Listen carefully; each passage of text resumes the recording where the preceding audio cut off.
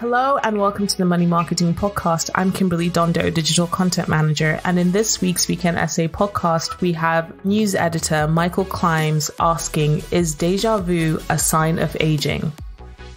Take it away, Mike.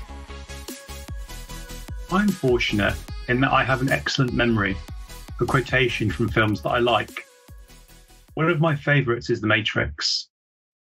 Among the many memorable scenes in it is one that involves a black cat the hero Neo passes. The transcript is as follows Neo, whoa, deja vu. Trinity, what did you just say? Neo, nothing. I just had a little deja vu. Trinity, what did you see? Cypher, what happened? Neo, a black cat went past us, and then another that looked just like it. Trinity, how much like it? Was it the same cat? Neo, might have been, I'm not sure. Morpheus, Switch, APOC. Neo, what is it? Trinity, deja vu is usually a glitch in the matrix. It happens when they change something. I've now been writing about pensions long enough to have a strong sense of deja vu when I see a series of seismic pensions announcements. If you have been covering a topic for a while, you become familiar with the landscape and its weather patterns. And since I've been writing about pensions since September 2014, I certainly have a feeling for its themes. Familiarity with something comes from experience, and experience is due to age. The passage of time has been in my mind at various points the past year, with the death of my grandmother last November. My nephew has been growing so fast as well, and I've noticed that white hairs have started to appear on my sideburns. They have made me more self conscious that I'm aging too. The days, weeks, and months also tick by faster than they used to and clarify what the priorities are and give time for reflection. I've been fortunate in my career to cover two really big pension stories. The first is the collapse of the BHS retail store due to poor management and the consequential plight for staff pensions. This is the only story I've covered that transcended my trade press background to become a national story.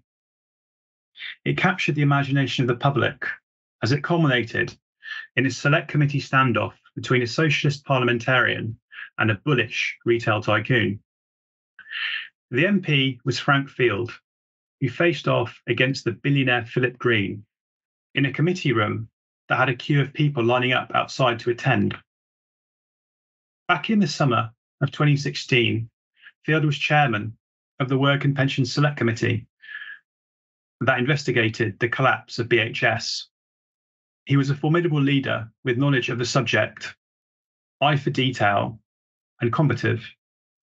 But he was also collegiate and gave all his fellow MPs time to ask their questions. Field's style was the right blend of get things done, but in a cooperative way.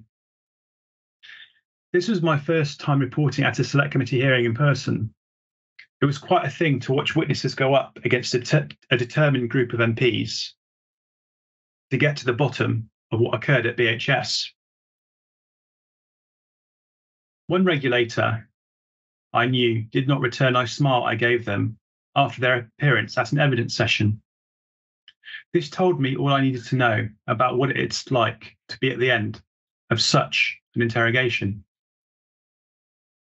But at ringside, so to speak, I had a marvelous experience getting to grips with how the committee worked. I learned how to read complex documents, take rapid fire notes, and report quickly. Some of the characters I saw and quotations I encountered were extraordinary. And every witness that was called was more memorable than the predecessor. It all culminated in the face off between Field and the former owner of BHS, who was Green. Field had a reputation of not suffering fools gladly, and Green had a reputation for saying what he thinks. They had not been exactly warm towards each other in the build up to their committee showdown either. I, re- I remember the interaction at the committee being highly enjoyable, at least for me. The second big story I covered is the British Steel Pension Scheme scandal. This involved rogue financial advisors giving unsuitable advice to steelworkers to transfer out of their generous fi- final salary schemes. The experience here was different, as the story did not take me to the heart of Westminster, but to Port Talbot in Wales. I still remember the long and delayed train to Wales that involved a brand new train having a power cut. And taking an older one to this seaside Welsh town dominated by the steelworks I passed on the way in. The size of the steelwork, the size of the steelworks remains a very powerful image in my memory.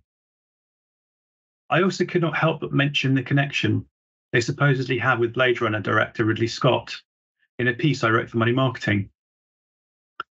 The lasting impression from the trip was seeing firsthand the best and worst of the advice sector in one day.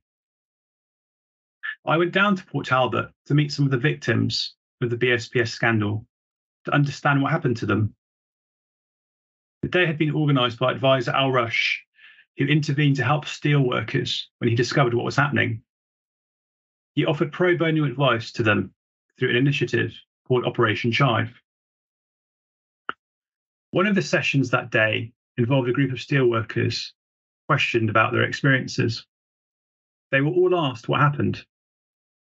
I will never, I will never forget the sight of a fully grown man answer by crying about the loss of his pension. The feeling of shame, betrayal, and vulnerability expressed was harrowing.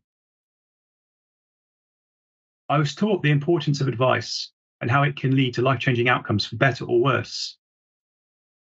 This is especially true if a defined benefit transfer is involved, as the decision once taken is irreversible. Since covering BHS and British Steel, I've covered other smaller stories that have contained the same themes the larger, as the larger ones. Pensions might look boring, but are important. Speak to a financial advisor if you can afford one. And a niche can give you an exciting career. And finally, things do change in pensions, but in a way that is familiar after you've covered them long enough. It's that deja vu again that comes from experience due to age. Thanks, Mike, for another great weekend essay podcast. We do hope that you enjoyed it. Please do keep up to date with all our new releases via Podbean, Apple Podcasts, Spotify, and everywhere else you get your podcast from. You can also keep up to date with all our new content published on the Money Marketing website, as well as our print edition, Money Marketing Mag. So make sure to subscribe. Follow us on Twitter, LinkedIn, Facebook, and Instagram. See you next time.